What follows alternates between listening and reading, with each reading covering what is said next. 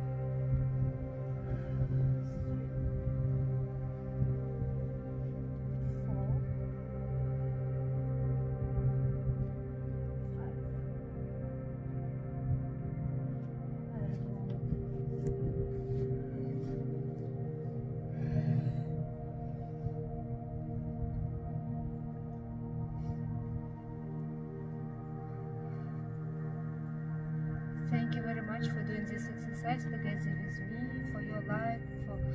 sharing this channel